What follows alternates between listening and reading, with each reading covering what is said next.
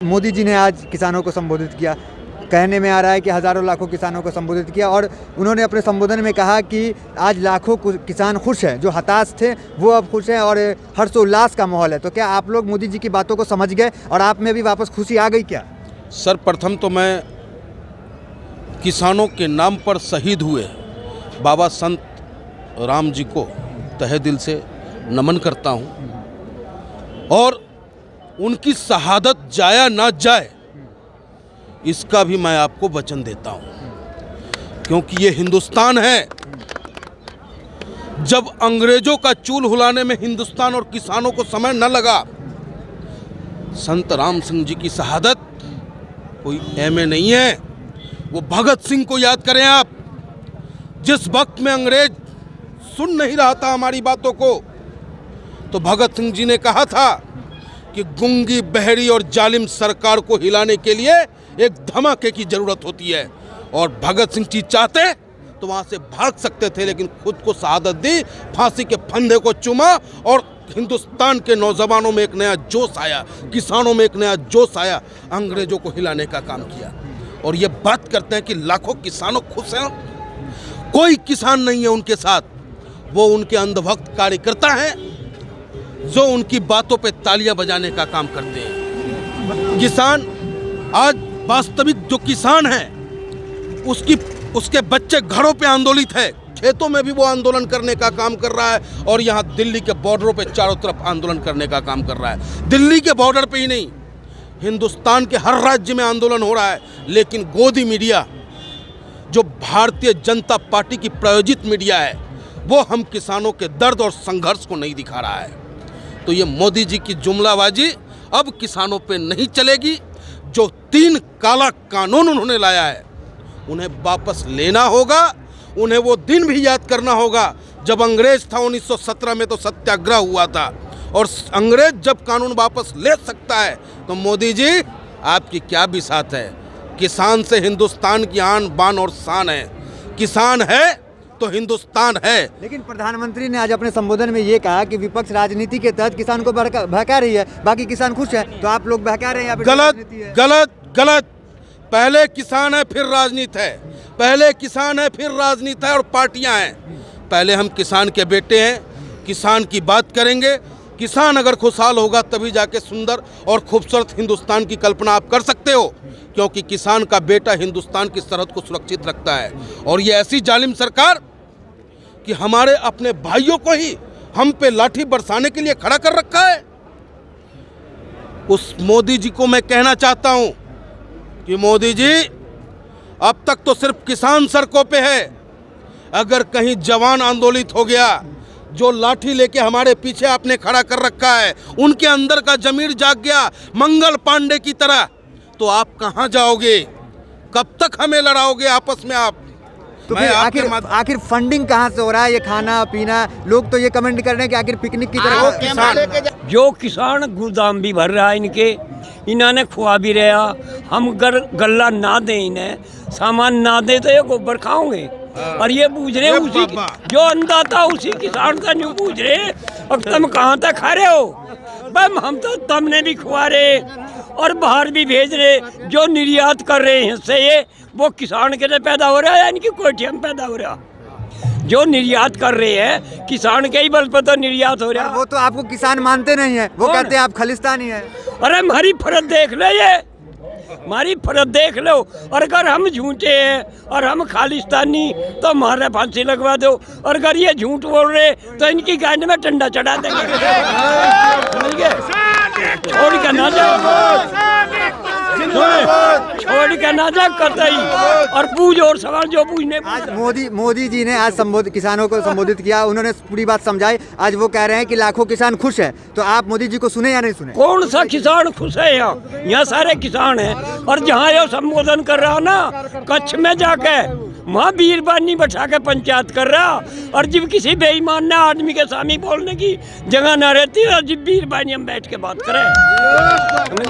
कच्छ की तस्वीर देख लो बीरबानी बैठी इसके सामने। एक भी आदमी हो तो मैं कसम खाऊं। तो कब तक कब तक डटे रहिएगा? वो तो अरे जब तक डटे रहेंगे जब तक हमारे दम में दम है और ये कानून वापिस नहीं होते। घरा कह काहे घरा कह घरा कह अख कानून वापिस जब लोग ना होंगे, आने के नहीं है। यहाँ शहीद तो हो सके। तो आपको- पर जानी आपकी इतनी उम्र है ठंड इतनी ज़्यादा आपको लगता नहीं है कि कभी भी सरकार मुझे ठंड मालूम दे रही मैंने पसीने आ रहे। अठहत्तर अठहत्तर साल की उम्र है वर्ष की उम्र में बाबू वीर कुमार सिंह ने तलवार उठाया था।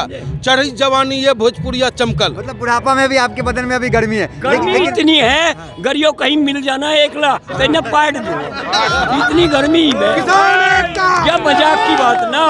गुस्सा भी है इतना और गर्मी भी है। और जब मिल जाए तो टांग पे टांग धर के पाट दूँ। लेकिन आप आपको नहीं लगता कभी भी सरकार बल प्रयोग कर सकती थी पुलिस के द्वारा? बल प्रयोग से कोई हम डर रहे हैं। बल अरे बल तो हमारे हत्ता में है। जब हमारे फावड़े में दिल्ली में जब भरतपुरी आए थे ना इन किसाना नहीं घेरी थी या दिल्ली अहमद शाह के टाइम में। और पाड़ के किवाड़ और ले गए थे इन पर रुके नहीं थे। और वही जन समूह है आज भी। जब भी किसान ही आया था लाठी बर्चे भाली फावड़े पलकटी गंडा से और आज भी वही तो आप डरने वाले नहीं है डटे रहिएगा नहीं डरे कतई भी। डर का तो नाम ही ना वो कह रहे हैं कि 2022 तक आपकी आय दुगनी हो जाएगी। तो क्या आपकी आय दुगनी हो जाएगी इसलिए अपना राज है? और आय दुगनी हो तो गई। अगर हम पीछे से देखें जो फ़सल जो फ़सल हमने अठारह साढ़े अठारह सौ में बेचा करे थे जो गन्ना हमारा तीन सौ सवा तीन सौ जाया था आज चरखी पे ढाई सौ सवा दो सौ का रेट है उसका। क्योंकि सरकार जनता की होती है और सरकार जनता के लिए होती है। अगर देश में अभी तक डेमोक्रेसी बची है तो प्रधानमंत्री को एक हज़ार बार मांग माननी पड़ेगी। और अगर तानाशाही आ गई है तो हम ये मान लेंगे कि अंग्रेज़ों से जिस तरह लड़े थे, उसी तरह शहादतें देनी पड़ेगी। और जिस तरह अंग्रेज़ जूते छोड़ के भागा था, उस तरह देश का प्रधानमंत्री छोड़ के भागेगा, अगर डेमोक्रेसी नहीं है तो। चलिए, आप आप पंडित जी हैं, और योगी आदित्यनाथ ने आज बयान दिया है कि जो लोग राम मंदिर के निर्माण से नाखुश है, वो किसान आंदोलन कर रहे हैं। तो आप भी किसान आंदोलन में आए, क्या आप ए, राम मंदिर के काम से नाखुश है क्या? बिल्कुल गलत। इनके पास और कोई रास्ता ही नहीं रह गया है। ये हिंदुस्तानियों को मज़हब के नाम पर लड़ा लड़ा के थक चुके हैं। लेकिन आज जब सरकार की चूल्हे हिलने लगी है ये आंदोलन किसी जाति की नहीं है किसान की है। हिंदुस्तान की चौंतीस जातियाँ किसानों में है और वो सब के सब इस आंदोलन का समर्थन कर रहा है। मंदिर एक अलग मुद्दा है। आस्था को आप छोड़े। जब लोकतंत्र को बचाने की बात हो तो उस लोकतंत्र में आप बात करें, जो हमारा मेन मुद्दा है, किसानों का तीन काला कानून वापस लेना है आपको, लेना होगा, और जो झूठा बयानबाजी आप करवा रहे हो, कि किसान ने रास्ता रोक रखा है, किसानों ने नहीं रोक रखा, आपने मेरा रास्ता रोक रखा है, रास्ता खोलो, हम दिल्ली आ रहे हैं। कल को सबसे पहले वो बैरिकेटिंग करेंगे खेत की, चाहे दो हज़ार बीघे का खेत हो, चाहे चार हज़ार बीघे का, वन्य पशु भी भूखा मरेगा, इतनी बेवकूफ़ सरकार है, कैसे कैसे लोग बैठे मंत्रालय में कुछ सोचते ही नहीं है। पॉइंट आपका समझ गया। लेकिन आप लोग यहाँ पे देखें कि कई लोग, चाहे सिंधु बॉर्डर हो, चाहे यहाँ गाजीपुर हो, कई लोग शहीद हो गए इस आंदोलन के चक्कर में। लेकिन आपको तब कहा जाता है कि आप डुप्लीकेट किसान हो, आप खालिस्तानी हो तो क्या, कैसा लगता है? अगर किसानों की आवाज़ को बुलंद करना, खालिस्तानी होना है तो मुझे स्वीकार है। हक की बात करना, आतंकवादी कहलाना है तो मुझे स्वीकार है। लेकिन मैं आपके माध्यम से हिंदुस्तान की आवाम को कहना चाहता हूँ कि मेरे साथियों ये लड़ाई सिर्फ़ किसानों की नहीं है, पूरे हिंदुस्तान की आवाम की है। सड़कों पे आ जाओ। नहीं तो आज जो मॉल में टमाटर अस्सी रुपये में बिक रहा है और तुम्हारे घरों पे तीस रुपये में पहुँच रहा है, कल को जब यह कानून लागू हो गया तो तुम्हारे थाली से टमाटर गायब हो जाएँगे रोटी के लाले पड़ जाएँगे हिंदुस्तानियों। इसलिए समझो इस संघर्ष को। ये संघर्ष सिर्फ़ किसानों का नहीं है हर उस हिंदुस्तानी का है जो रोटी खाता है। इसलिए इस सरकार को झुकना आपको नहीं लगता है कि ये मीडिया को जिस तरीके जो मेन स्ट्रीम मीडिया है उनकी अगर बात करें तो वो आपकी मुद्दे को सही तरीके से सामने रख पा रही है। पत्रकार पहले करोड़ में पत्रकार नहीं बिकता था झोंपड़ी में बैठता था लेकिन दो करोड़ में नहीं बिकता था। अब क्या है कि पत्रकार पत्रकार बचा ही नहीं क्योंकि मीडिया का जो सीईओ बैठा है वो मोदी जी का आदमी है मोदी जी का लाला है। तो पत्रकार चाहते हुए भी सही बात नहीं कह पा रहा। तो पत्रकार वो कह रहा है जो सरकार चाह रही है गोदी मीडिया चाह रहा है। कुछ पत्रकार मैं ये नहीं कह रहा हूँ सारा मीडिया कुछ पत्रकार आज भी जीवित हैं कलम आज भी जीवित है और वो सही लिखने की कोशिश कर रहे हैं। बिल्कुल। क्या कहिएगा जो कह रहे कि मुट्ठी भर देखिए देखिए देखिए आप लोग समाज के आईना हो। आप वास्तविकता नहीं दिखाओगे तो कैसे काम चलेगा? फिर भी मैं धन्यवाद देता हूँ आप वेब मीडियाओं को जो समाज की वास्तविकता को दुनिया के सामने रखने का काम कर रहे हो। इस गोदी मीडिया और मोदी जी के कहने मात्र से हम मुट्ठी भर नहीं है। ये मुट्ठी अगर बन जाएगा तो एक पंच बनता है और इनकलाब! इनकलाब! आखिर आंदोलन कब तक कीजिएगा? वो तो कह रहे हैं पीछे हटेंगे नहीं संशोधन कर देंगे हटेंगे नहीं हम डटे रहेंगे। वो हटेंगे नहीं हम डटे रहेंगे। उनसे हम उनसे ना घबरा रहे हैं ना उनकी लाठी से घबरा रहे हैं ना उनके उनके पानी के बौछार से हम घबरा रहे हैं। हम जब तक हमारी मांग को नहीं माना जाएगा तब तक हम संघर्ष करते हैं। मैं मध्य प्रदेश से अच्छा जिला छतरपुर। अपनी मर्ज़ी से आया हूँ। हाँ। क्या दिक्कत क्या हो रहा है भाई दिक्कत ये हो रहा है जो किसान ये जो लोग कह रहे हैं ना बिल्कुल सही कह रहे हैं। कुछ ना कुछ पोल पट्टी खुल रही है बीजेपी की। भाई मैं ये कह रहा हूँ जैसे कि ये मीडिया वाले जो आ रखे हैं एक एक कॉपी इनके हाथ पकड़ा दो। जैसे और किसानों को कह रहे हैं कि बेकार है तो और किसानों के हाथ में कॉपी तो पकड़ाओ। मीडिया की तो इतनी पावर है। नहीं मोदी जी आज जो संबोधन में जो जो बात कही वो कहे कि सारी बात को समझाया आप देखा फिर उससे आप तसल्ली क्यों नहीं हो रहा आपको? भाई तसल्ली जब होगी ना किसान लोग खुश होंगे। जब किसान तुम हिंदुस्तान में रह रहे हो हमारे ही बोर्ड से तुम प्रधानमंत्री बने दो बार बने। अगर तुम किसान की बात नहीं मानोगे तो किसकी बात मानोगे? चाइना की।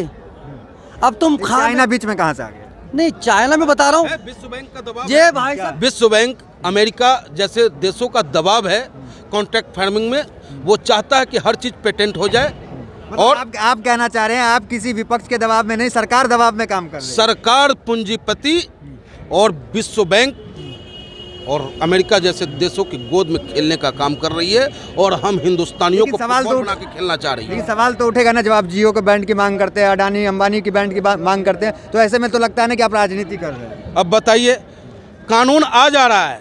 और एक साल पहले से अडानी और अंबानी का जो है वेयर हाउस बन रहा है। इसको क्या कहेंगे आप?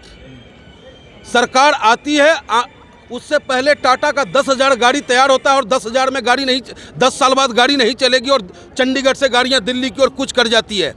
क्या कमीशन का खेल नहीं है तो और क्या खेल है भाई? जियो हमारे सरकारी संस्थान बीएसएनएल को खा गया।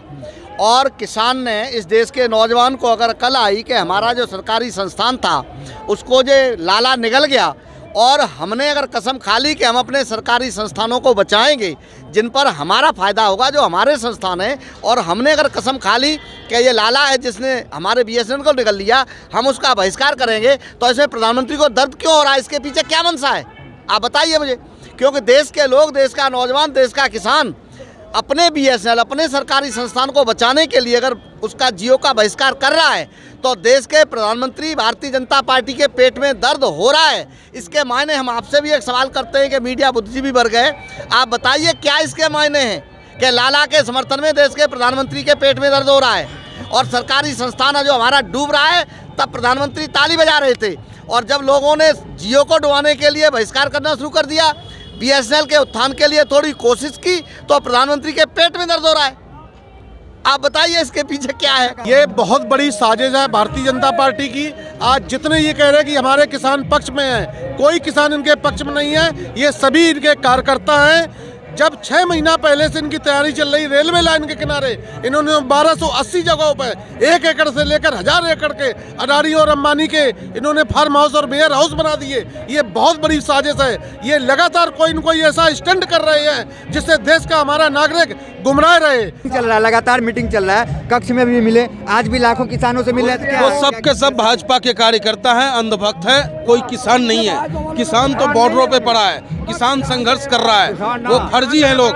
वो आज हम किसानों को भी दो फाड़ में बांटने का प्रयास कर रहा है। जैसे कि आपने कहा कि योगी जी ने कहा कि जो राम मंदिर का विरोध कर रहे हैं, वो यहाँ आंदोलन कर यहाँ हर वो व्यक्ति है जो भगवान राम, वाहेगुरु और अल्लाह का इबादत करता है यहाँ हर पहले, लेकिन भगवान वाहेगुरु, अल्लाह और राम से पहले हमारा किसान का सम्मान होना चाहिए। उसके बाद तो उनका हम पूजा करते ही हैं और करते रहेंगे। खैर हम गाजीपुर बॉर्डर पे मौजूद है और यहाँ किसानों की जो समस्या है उसकी दर्द है आपने देखा। फ़िलहाल इस वीडियो में इस वीडियो में इतना मिलता है अगले वीडियोज़ में। बने रही हमारे साथ। धन्यवाद।